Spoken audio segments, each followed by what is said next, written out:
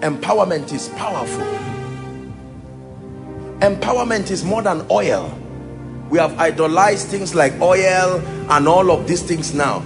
I told you oil does not anoint. Oil only anoints if an anointed person anoints the oil. Oil can fry egg can fry yam can fry all these things. It came from a tree. It's olive. The empowerment dimension is where most people have missed it. As many as believed him even to those who received him he gave them it's not just information he gave them alone. There is power to become. Power to become a man of God. Power to become a true prophet. Power to become a financial apostle. Power to become a leader. It takes more than desire there is power to become. Do you have the power to become? He gave them power to become. Power to become. Is Saul also one of the prophets? He was not born a prophet. What suddenly happened? He encountered a prophet that gave him the power to become this politician you were born. Nobody was supposed to vote for you but you went to a herbalist. Should I contest or not? The herbalist gave him an information but he said hold on don't just go like that. Take the power to become. Many people do not have the power to become. They have the power to stay and be transformed but they do not have the power to become are we together? We have many mothers in this ministry and they will tell you there is power to carry a child. Are we together? For nine months you are carrying the child. It's not easy but God is granting you grace. But then there is the power to push until that child comes out. You see that? You see how delicate it is at the point of delivery. They will not say you've been nine months pregnant. You should be an expert by now there are midwives there are people watching. Sometimes there are machines trying to induce all kinds of things. Power. Then there are times that some women are carrying twins triplets quadruplets.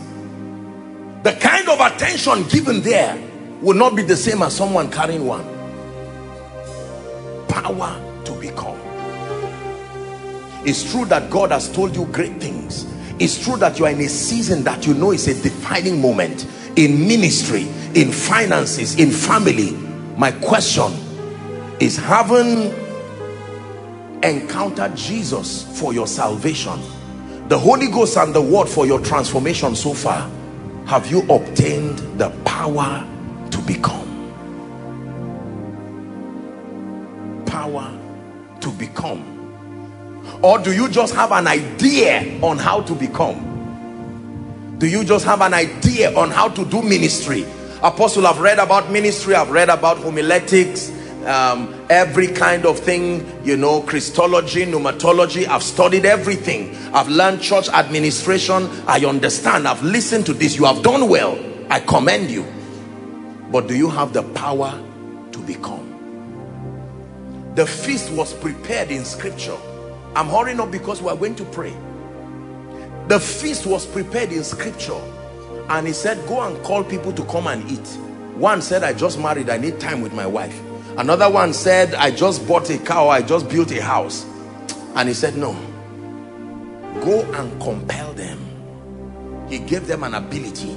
He said you went just with desire that's why they are not listening to you. Now go with desire plus this power. It's called anagkazo the compelling power of the spirit. Go to the byways he says and the highways. Compel them to come that my house shall be filled. There was an ability upon Noah and his ark that suddenly made the animals no matter if you were an animal that day you must come to that ark. The animals did not just come because they didn't know where to go. There was power that brought them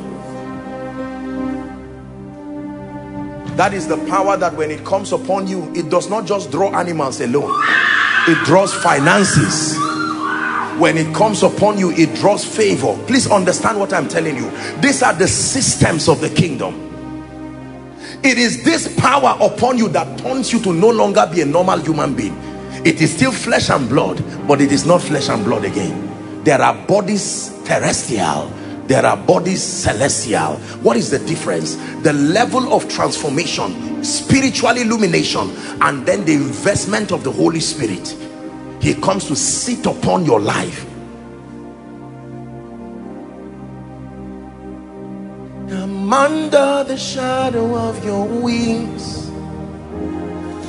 Your influence is all over me I am under the shadow of your wings.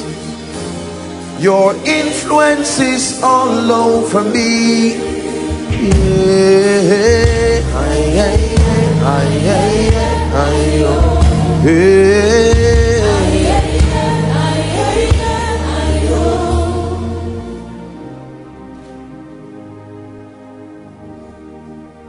You are listening to me and you are not saved no matter what else you have you have not attended to your greatest need. Your greatest need is salvation. You are saved. Listen look at me. You're a man of God here or you are listening following online let me challenge you. The primary assignment of the minister of a minister of the gospel as far as building believers or as far as church growth is concerned is not only salvation but discipleship. Without discipleship believers cannot mature. Discipleship is not inculcating a denomination's perspective. No. Discipleship is the system of mentorship. You use the course content called doctrine to mentor believers a methodical approach to spiritual growth. There are many ways to learn how to drive you can steal a car and quickly be you know when your parents go out you carry the car and freelance. That is that is a backdoor way to drive. There will be many side effects. You can move the car but you will know the things you don't know the day you enter the road. But there's someone who will go to maybe a school of driving. Are we together? Yes. And be taught properly. Sometimes the person who even goes to the school of driving he already can drive so he will go with pride. And the first lecture will humble him. They will not even talk about driving. The first lecture they will talk about the territory where he is first. And he will feel bad for his friend who is moving around believing he's an expert driver. There are many expert drivers that were not taught well. They drove well for 10 years and the mistake they did not learn killed them in the 11th year. This is how many believers are. You can sit on your own and learn anything you want to learn. Oh i saw this book by gloria copeland god's will is prosperity. I've learned it. Beautiful. Now i know everything about prosperity. They didn't tell you there are attacks that come with every realm. They didn't tell you that money this money you see there is a spirit behind it. If a circumcision has not happened to you it will tear you into pieces. Then you find one book on prayer and fasting. I'm not saying these things are wrong but you just while you are studying on prosperity you just halt and just look to three or four pages on prayer and fasting. Then you learn something. Then you listen to a sermon. You stumble across a sermon on youtube about maybe spiritual growth. And then maybe you attend a conference somewhere. And after five years you stand and say i'm matured. Do you know something about finance? Yes. Do you know something about character? Yes. Do you know something about spiritual growth? Yes. And you dare to tread you step in believing you are equipped that's when you will see the gaps in your knowledge. When demons look at you you are full of zeal with gaps. Gaps everywhere that can be used against you. But when he builds you when he builds you you will be so formidable. The bible says listen to me the bible says that barak was called listen to me that he was called to go and cause um what was that was that scripture now? Numbers right? Yes. To go and cause the nation of israel. And they saw a formation in the midst of them. The ark being at the center. And they did not have to go and say you are cursing us. You keep doing what you are doing. Our focus is our own formation. And he cursed and cursed and cursed and said this is not possible because the shout of a king is in the midst of them. There is a way your life can be so full of the glory and the grace of God. You will live as if you are not a normal human being on earth. You see if you don't contend for transformation and empowerment you may never understand these dimensions and you will not appreciate them. You will not even believe they exist. You just think this is just church pentecostals talking nonsense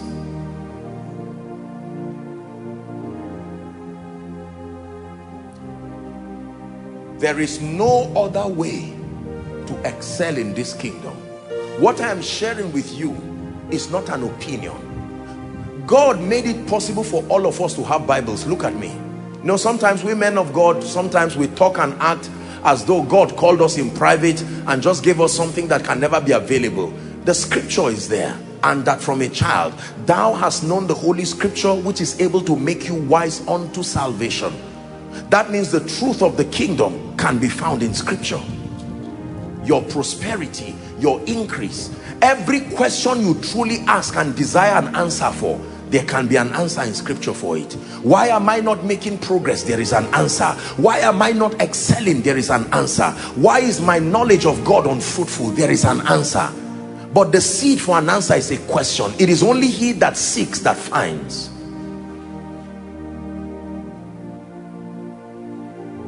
Listen you can continue to allow your days to just live itself like kicking a car putting it on gear and allow it to drive itself hoping that one day your life will drive itself into a beautiful prophetic destiny. Or you can make up your mind tonight to take responsibility. There is a relationship between authority and responsibility and say i'm going to drive my life with intention and not feel guilty while you are laboriously studying the various facets of life and the kingdom that will make you excel. Because sometimes you can be studying on finances for instance and people and your sociological context can make you feel guilty. There are many more serious things to study. Why what are you doing with issue of finance? That may be where you are with the Holy Ghost. But society can make you feel guilty and you give up on it and say let me just focus on prayer or this. No. No every dimension of the kingdom required for your growth is important. You ignore it you will pay for it.